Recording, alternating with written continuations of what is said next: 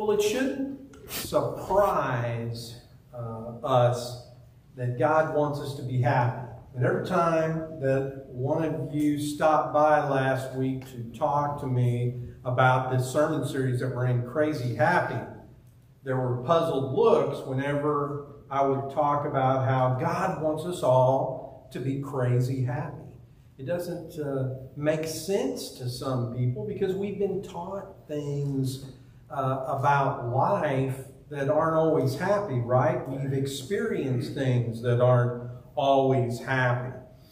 Uh, the surprise that we've been talking about is where you find happiness. God wants you to be crazy happy, uh, but it's not in the places that we usually look in.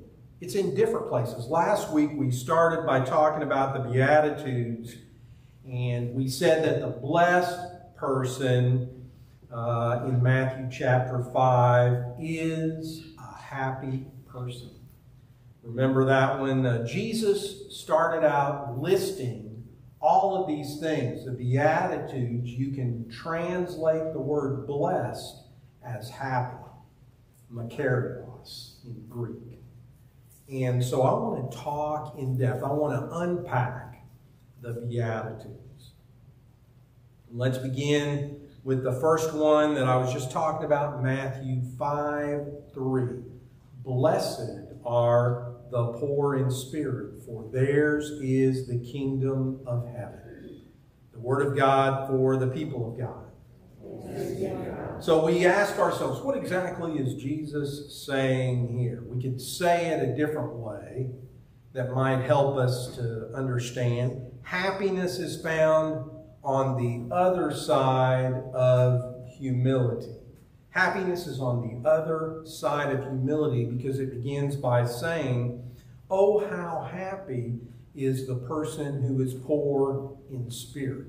What is poor in spirit? We don't use uh, poor in spirit all the time in common language. Being poor in spirit doesn't mean you're lacking courage it's acknowledging a type of, of spiritual loss, spiritual bankruptcy, uh, is what this text is saying.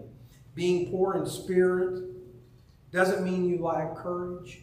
It means that you are humble enough to know when you need God's help. You are humble enough to say to God, hey, I need you to guide me, oh God nobody ever would say that happiness comes on the other side of humility, but that's exactly what Jesus is saying. The person who is humble and lives their life depending on God.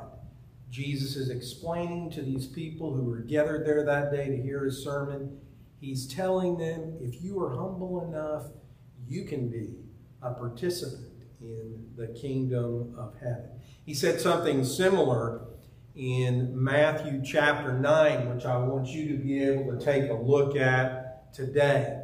Listen to this text. Now it happened as Jesus sat at the table in the house that behold, many tax collectors and sinners came and sat down with him and with his disciples. And when the Pharisees saw it, they said to his disciples, why does your teacher eat with tax collectors and sinners? When Jesus heard that, he said to them, Those who are well have no need of a physician, no need of a doctor. But those who are sick need a doctor, Jesus was telling them. And he said, But go and learn what this means. I desire mercy and not sacrifice for I did not come to call the righteous, but sinners to repentance. The word of God for the people of God. I love that word. You see how Jesus speaks about, speaks about those who are sick? Those are the people who are poor in spirit that Jesus was talking about in the sermon. They know they have issues and problems, so they're humble enough to ask for help. And who's the help? Jesus is that help that they need. So happiness comes on the other side of humility. And then the next beatitude, uh, 5 4. Blessed are those who mourn, for they shall be comforted. You know, mourning is part of our journey. That's part of our journey in life. Suffering a loss. If you ask 100 people, how many of them would guess that the crazy, happy life involves mourning? Zero. I bet zero people would say that. But yet, that's not what Jesus is saying in his Sermon on the Mount. It's not what he's saying at all. Mourning encompasses a lot of ground. What does it include? Grief uh, caused by our personal mistakes and losses, and also other things that happen to us in our lives, all cause mourning when we lose someone close to us.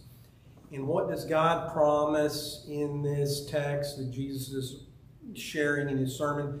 That, you know, that God is going to be there to comfort you when you are sad and when you are mourning. That's why it says, Oh, how happy are those who mourn, for they shall be comforted. So we're reminded that mourning is part of the journey of life and it's part of the crazy happy life because being sad leads to being happy. There's a wonderful text in Psalm 30 about it. Sing praise to the Lord, you saints of his, and give thanks at the remembrance of his holy name. For his anger is but for a moment, his favor is for life. Weeping may endure for the night, but joy comes in the morning. That's the part that we've all heard. Weeping comes at night, but joy comes in the morning. I think that scripture is wonderful. Though we may weep, joy comes in the morning. God's happiness comes through our seasons of sadness.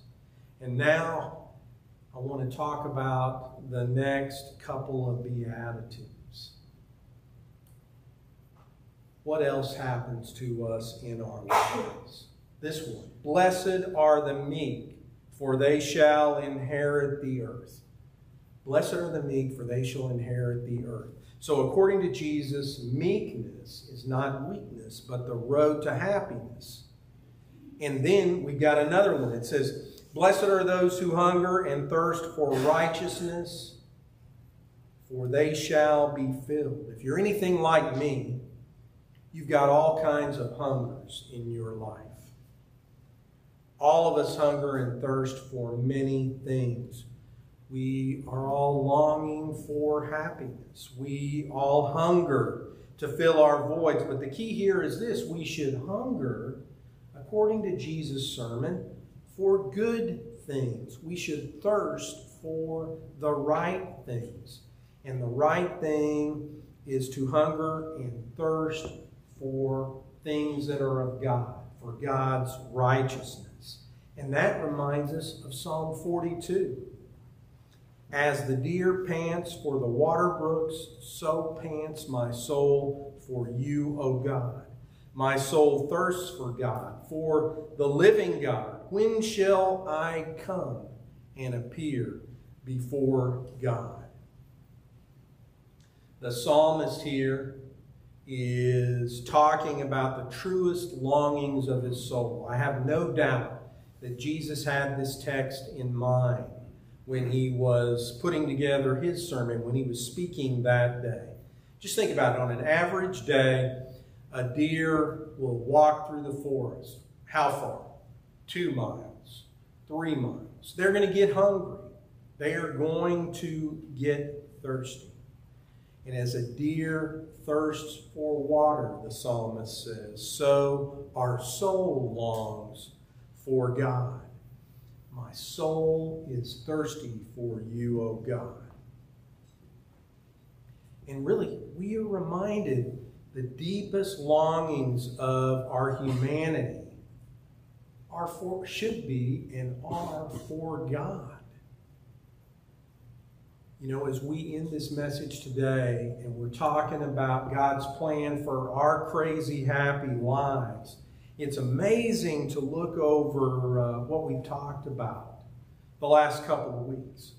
God's crazy, happy plan for your life is a big part of your human existence.